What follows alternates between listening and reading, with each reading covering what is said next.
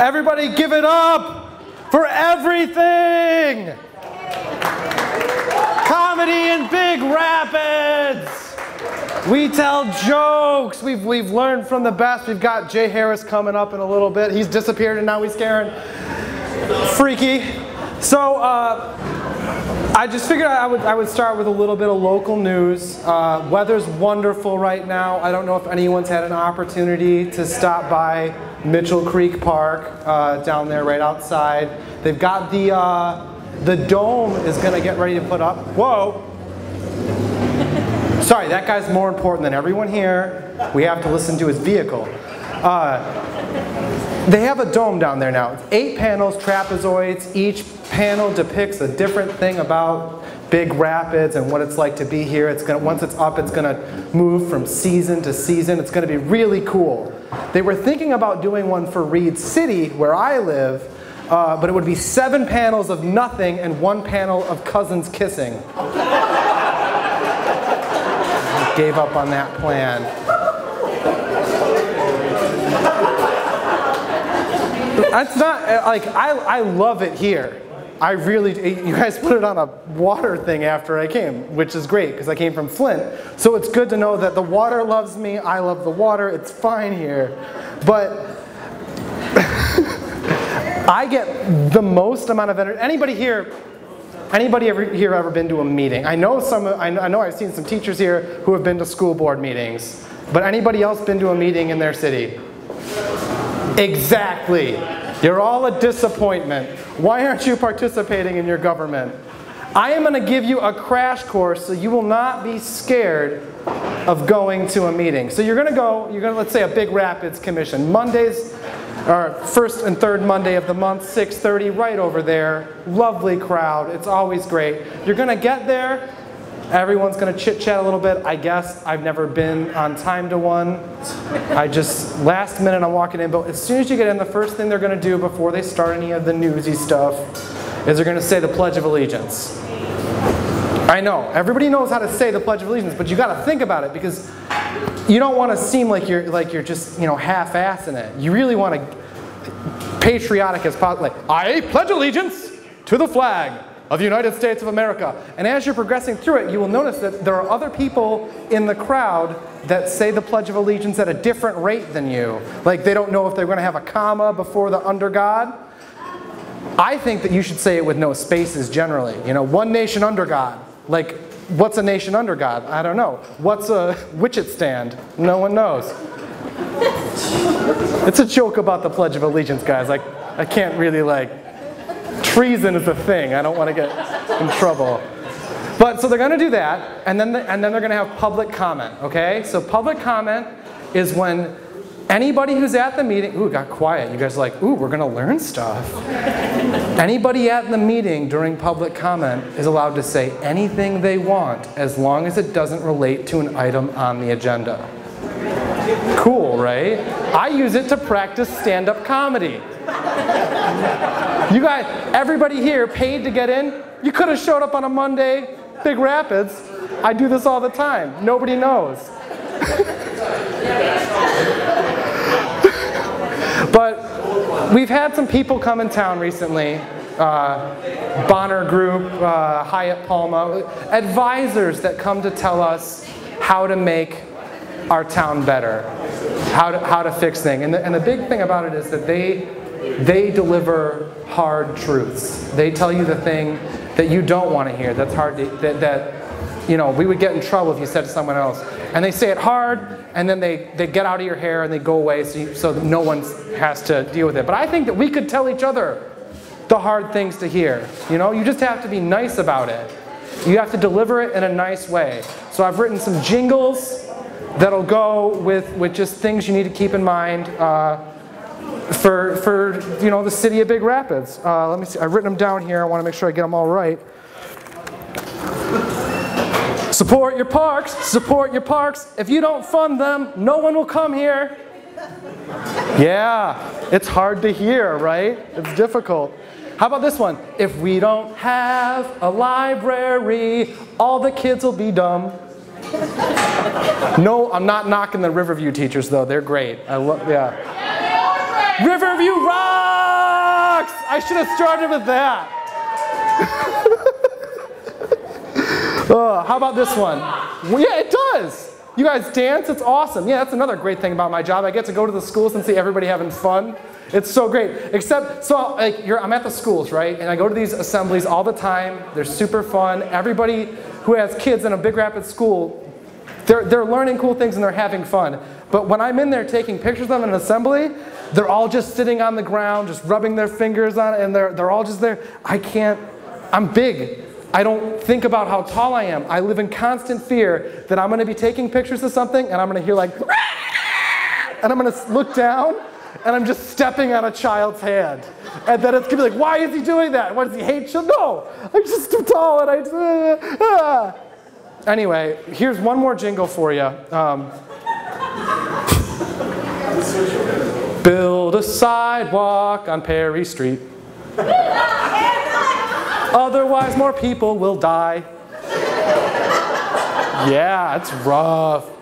See, I, I really, I really love it here. It's great. Uh, I, I don't fit in here though. You know, I'm like, I, I covered the fair for the first time. I'd never been to a fair before. I wore flip flops. yeah. Don't. Don't wear flip flops to the fair. I was trying to fit in, so I thought, all right, cool, I'll be tough. I'll chop wood, you know, like that's a that's a cool like country thing to do. I'll fit people will respect me then. But I didn't know where to get wood. So I had to drive to Grand Rapids to Whole Foods to buy uncut artisan logs and bring them home and cut them. That was funny. You guys are wrong. That was you guys are just wrong. How about this one? I tried to blend in, you know, like I figured, all right, can't chop wood, flip flops, I'm an embarrassment. I'll burn my mattress and use it to grade my driveway. So I, I get my mattress out there and I set it on fire and, and it's going great. And then I realize I have a memory foam mattress. I just have a sled now, just a sled. it's dangerous. Everything out here is dangerous. I, I lived in Flint. I lived in Flint. They would not deliver pizza to my house after dark. They, they would, and then someone murdered the only pizza guy who would come to my neighborhood after dark. So I move out to Reed City, and now I still don't get any pizza after dark. but it's like, uh, there's so there's danger at like every corner here. It's like Big Rapids is a symphony of color, and yet there is danger at every turn. I went on a plow ride Hey, people in the back, I can hear you more than I can hear myself. Why don't you enjoy some comedy for a second? I'm gonna tell a funny story about a plow. Yeah, here's some plow stuff. There's a guy, uh, I rode up and down 131 with the guy who's in charge of keeping it clean for everybody. He's been doing it for decades. We're just talking. He's telling me all these great stories just about being in Big Rapids, about life here. It's just great. We're chatting. We're having a great time. I'm enjoying my plow ride. You're up there. It's like a big truck. I'm to just get closer and closer to the mic until I'm louder and louder than everyone in the bar. Uh, I'm in the big truck. He's telling me about things. It's great. I'm enjoying it. I say, oh wait, I've got to get a picture. So, I open the door and step out of the plow like it's my Ford Focus. Yeah, you appreciate what happened. I fell eight feet to the ground and landed on top of a side plow. I couldn't walk right for like three days. It was terrible. so I don't fit in here, and I don't fit in anywhere else either.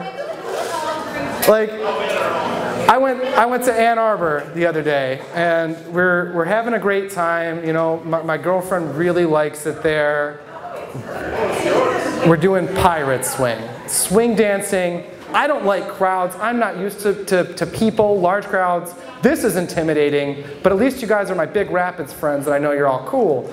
Walking into a, a, room full of pirate swing dancers was frightening, and then I realized it's swing dancers, it's a bunch of honkies. it's just like this crowd. Thanks, Connie. Three claps. I love it. As long as she approves of it. so I'm in Ann Arbor and we go out and i'm trying to i'm trying to be cool. I'm trying to be tolerant you know because it's it's hard to be like i'm i'm too old to actually really be a millennial which i've written a millennial eh, you guys ready for a millennial joke? You might be a millennial if you think this joke is ironic.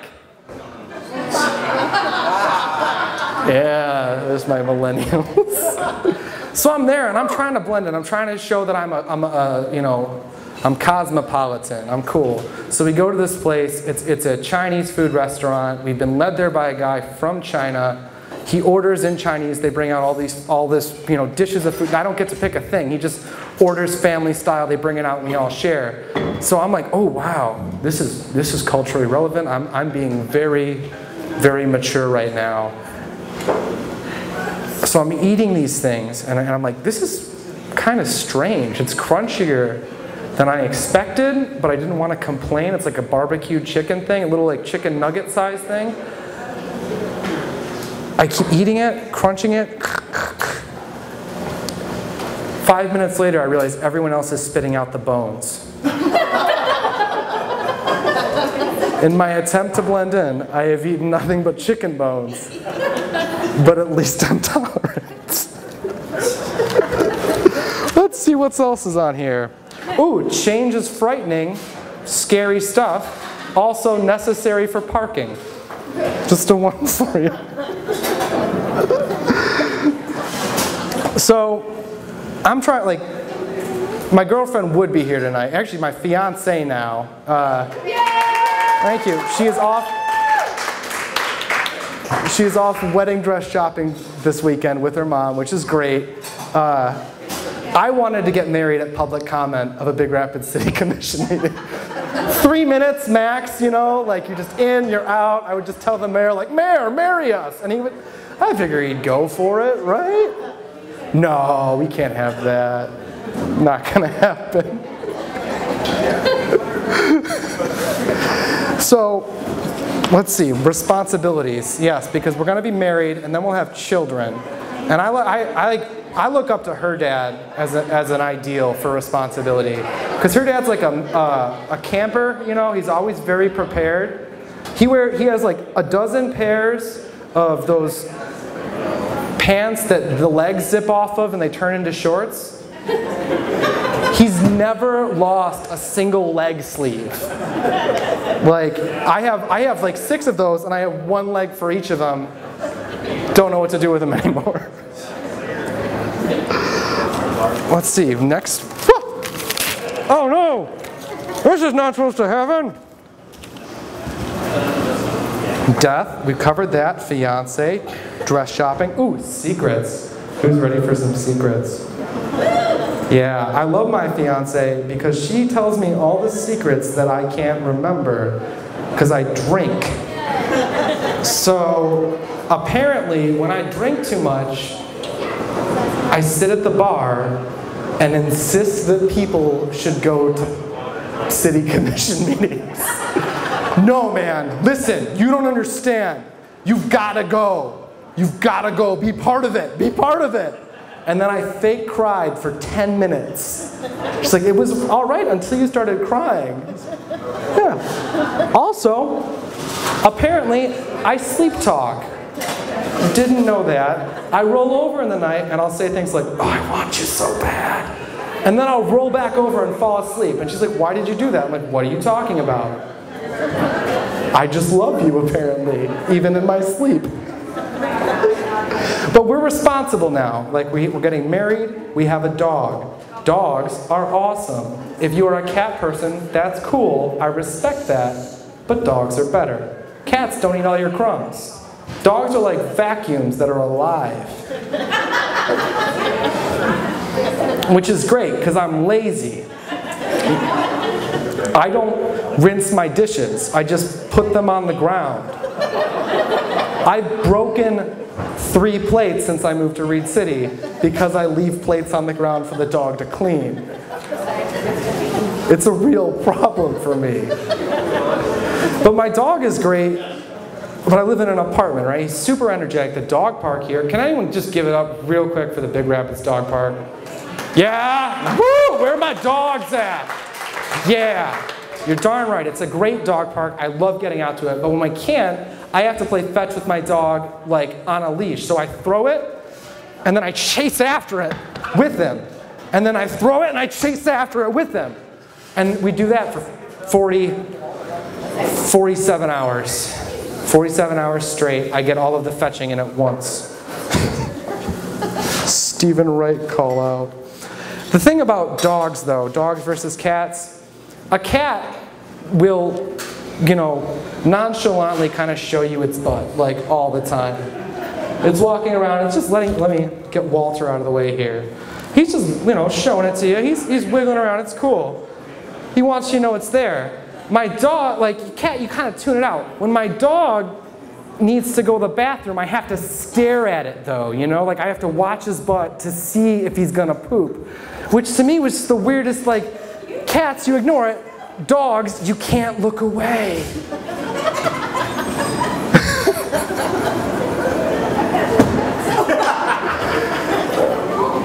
uh, guys, I almost didn't make it here tonight. I got, I got pulled over on the way in. I was using my cell phone while driving. I know, right? Which I'm gonna fight it though, because I wasn't using my, I wasn't like on my cell phone.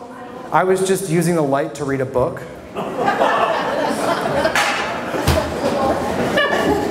And you're like, Adam, why don't you just read an ebook? Because I like the feel, you know? I like a real book in my hands. That's, that's why when I'm reading, I never wear a condom. It's about the feeling. Cover their ears. I feel so terrible. And I'm tuning it down. These are like, I've, I've cut out half of I'm skipping through here trying to not terrify children. A few. Uh, all right, well, in that case, I'm going to say that I love this one because, we're, you know, thinking about books, they say there's, you know, the brain is actually the largest sexual organ. It's because they haven't seen my penis. Yeah, she held her face. It, it is though. Like I, I, it, being smart turns me on. That's why I love. That's why I love my fiance. Like I can't have no no Adam time without shake without thinking about Shakespeare. There's the rub.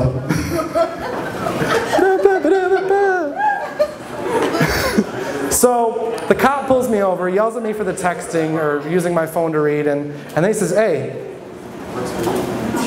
I think you might be under the influence of marijuana.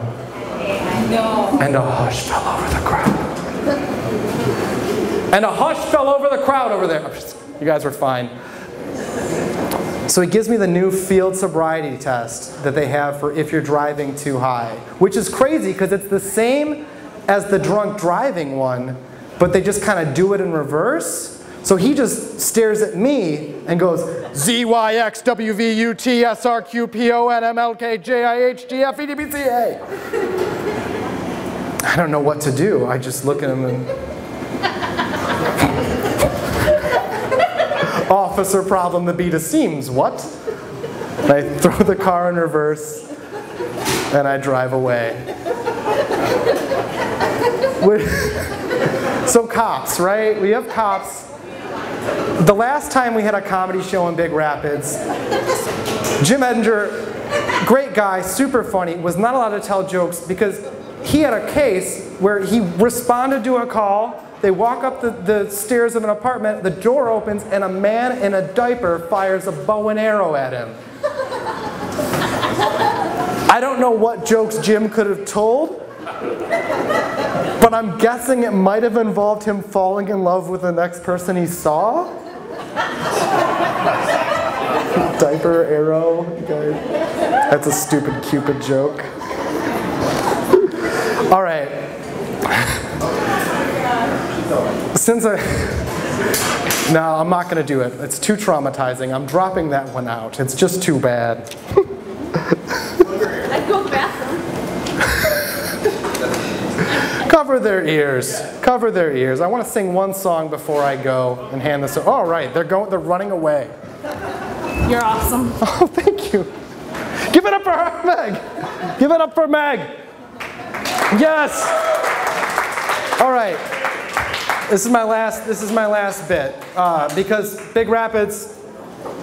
I know where. Uh, I know where you put your sex toys. At least I know where you keep them. It's in your sock drawer. But there is one toy that you cannot keep in your sock drawer, and that is that is a real doll. That is a, I don't know if you guys are familiar with this, this is a fake person that they have designed for people to use as a sex toy that you have sex with. Um, and it's too big, you know, it's like, it's like a person. Like, what do you do with, with, a, with a sex toy the size of a person? Do you keep it in a, in a closet? Do you just wait for someone to like open it up? Ah! Oh, no, no, no, no, don't worry. It's not a, it's not a body. It's just a tool I use to pleasure myself. See, I, I think that you should keep it right in the front hall. There's nothing to be ashamed of. You know, just have it out there, you know, like this. Like, hey, Adam, that's a pretty nice coat rack you have there. I like what you've done with the umbrella. I got her face palm. Yes! anyway, I've written a, I've written a, a, love song to my to my real doll that I don't have. Uh, her name is Lily. So I just want to sing this for you, and this is my last thing before we give it up for Jay. Uh, it goes something like this. I've got a woman. She's tall and she's fair, with rubber for lips and wires for hair. And when we're out dancing, it feels like a dream. But still I'm in love with a fucking machine. Lily, sweet Lily of the uncanny valley, why won't you answer my call? Lily, sweet Lily of the uncanny valley, I forgot to plug you into the wall.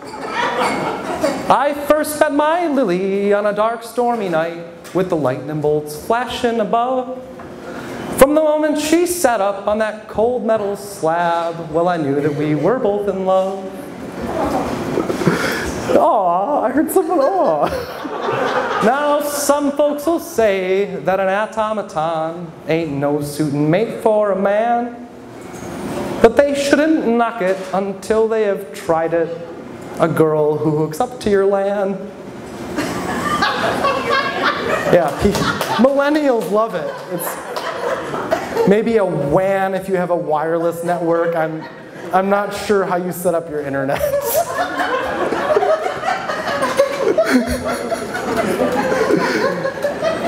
and with that, ladies and gentlemen, I will never be able to work in this town again.